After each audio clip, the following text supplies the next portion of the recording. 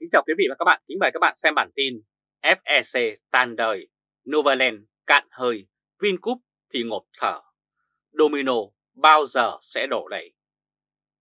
Sau hơn 10 tháng kể từ ngày ông Trịnh Văn Quyết bị bắt giữ, Sở Giao dịch Chứng khoán Thành phố Hồ Chí Minh hồ giờ đã ra quyết định hủy niêm yết gần 750 triệu cổ phiếu của FEC. Nguyên nhân là vì vi phạm nghiêm trọng nghĩa vụ công bố thông tin Thực ra FEC hiện nay đang tồn tại dưới dạng đời sống thực vật. Nhân viên của FEC thì bận nợ lương, tình hình kinh doanh vô cùng khốn đốn. Ban quản trị không cho giải thể mà cứ cố chạy vậy để kéo dài hơi thở. Hiện nay nhà đầu tư nào lao đầu vào doanh nghiệp này thì xem như ném tiền. FEC xem như tàn đời.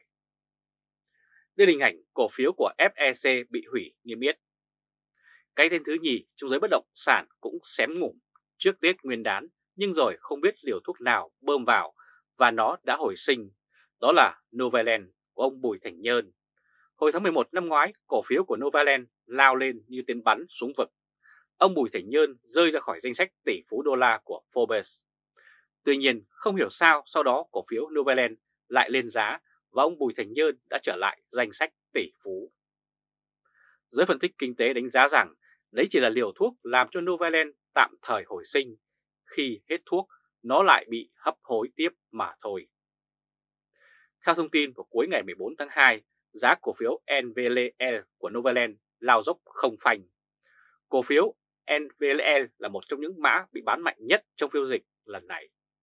Đến thời điểm kết thúc phiên giao dịch buổi sáng, cổ phiếu mã NVE khớp lệnh sấp xỉ 10 triệu cổ phiếu và đang dư bán giá sàn hơn 16 triệu đơn vị. Trong tình hình như vậy, không biết gia đình ông Bùi Thành Nhơn sẽ làm gì để cứu lấy Novaland. Có thể nói, sức khỏe tài chính của Novaland đang rất thậm tệ. Lần khịu thứ nhì sẽ là lần rất khó khăn hơn lần trước. Nếu ông Bùi Thành Nhơn cứu được Novaland lần thứ nhì, thì lần thứ ba, lần thứ tư lấy gì sẽ cứu đầy. Cho nên có thể nói nhà đầu tư Novaland tự liệu mà thoát thân sẽ không có cơ hội để kiếm lời nữa, chỉ còn lại toàn là rủi ro mà thôi. Như vậy, Novaland của ông Bùi Thành Nhơn cũng đang cạn hơi. Đây là hình ảnh cổ phiếu của Novaland lao dốc không phanh. Sáng ngày 14 tháng 2, các cổ phiếu họ viên như VCB, VIC, VHM đều mất giá. Được biết, Vingroup là một trong những ông lớn đang cầu cứu ngân hàng nhà nước giãn nợ và hạ lãi suất.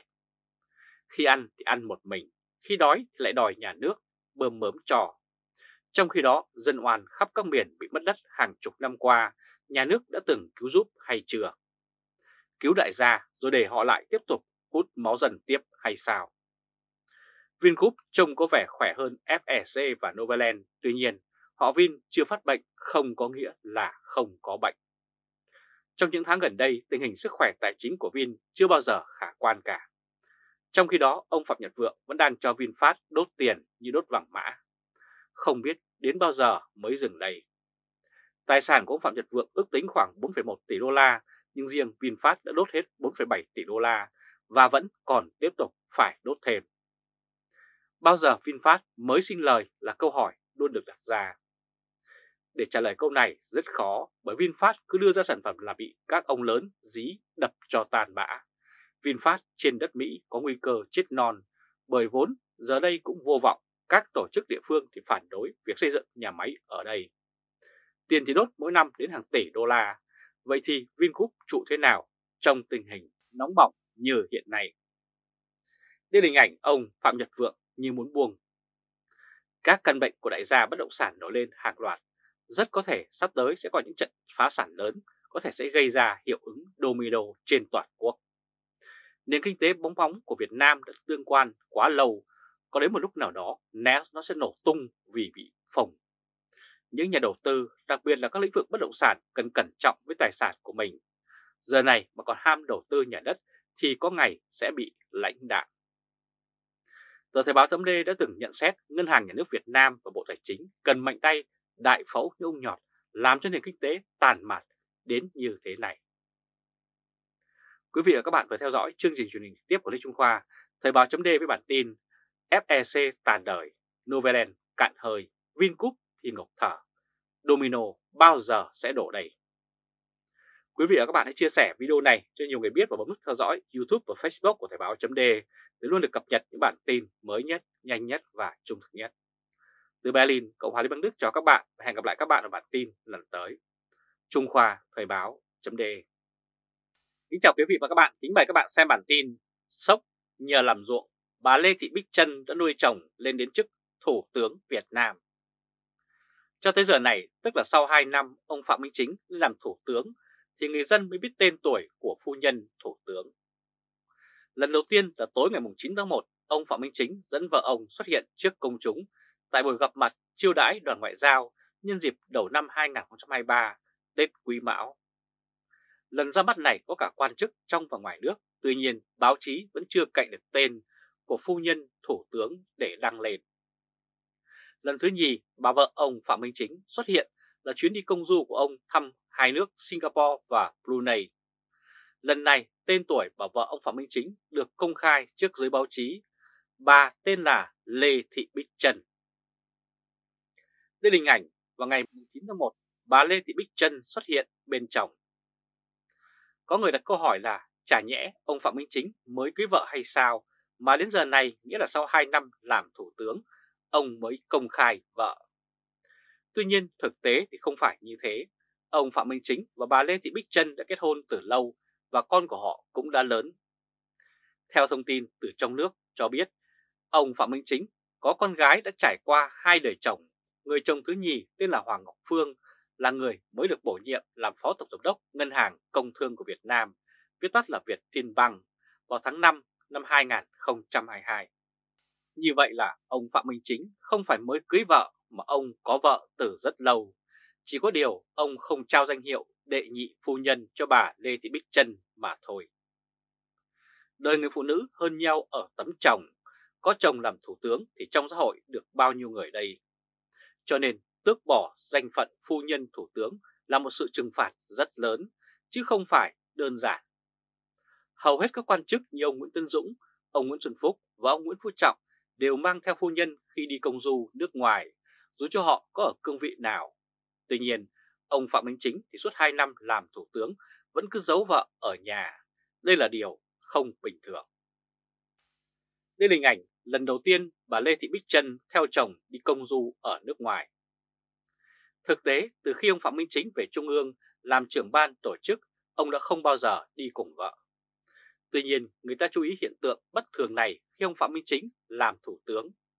Và từ tháng 6 năm 2022, Thời báo chấm đã có loạt bài công bố tài liệu mật với ông Phạm Minh Chính đã có đề cập đến chuyện này. Ông Phạm Minh Chính đi công du ở nước ngoài, không dẫn theo vợ. Mới đây, trên tờ báo Tuổi Trẻ có đăng hình ảnh phu nhân ông Phạm Minh Chính ngồi tưới cây lưu niệm do chồng bà trồng tại Brunei. Bà ngồi tưới cây rất tự nhiên. Có người nói đùa rằng bà ngồi giống ngồi xí sổ. Ví von thí thì quá đáng thật. Tuy nhiên, nhìn hình ảnh đệ nhị phu nhân ngồi tưới cây như thế rõ ràng thiếu đi chất trang nghiêm trong các cuộc tiếp khách quý mang tầm quốc gia. Bà ngồi vô tư như các bà nội trợ đi chợ vậy, ngồi ngã giá tại các quán rau phía hè. Có người đánh giá thế ngồi của bà cũng trông dễ thương lắm, chẳng vấn đề gì nghiêm trọng. Lễ nghi có thể học, điều đó cũng khá đơn giản, và cũng có người nhận xét có lẽ bà lần đầu tiên làm phu nhân của một người đứng đầu chính phủ của nước lớn trong khu vực ASEAN, nên chưa quen với kiểu cách của giới chính khách. Đây là hình ảnh có người nói rằng bà ngồi tưới cây giống như ngồi xí xổm vậy. Có người là ví von bà Lê Thị Bích Trân như là hai lúa, nói theo ngôn ngữ miền Tây Nam Bộ. Miền Trung gọi là nhà quê hay từ hai lúa. Tuy dùng từ gì thì ý của từ này chỉ là những người có phong cách như những bà làm ruộng. Nếu ai làm ruộng cũng nuôi chồng làm được như thủ tướng thì chắc xã hội này phụ nữ tranh nhau làm ruộng hết. Thực ra, ông Phạm Minh Chính đã nghe dư luận đàm tiếu và ông đã chỉnh sửa. Dù có thực lòng hay không cũng không ai biết, ít ra trong chuyện này ông Phạm Minh Chính cũng đã lắng nghe giới phản động. Nếu ông Chính lắng nghe phản động, quật lại ông già cổ hổ đang ngồi trên cao bảo vệ cho những thứ sảm xí do chủ nghĩa Mark Lenin mang lại, thì lại hay biết mấy.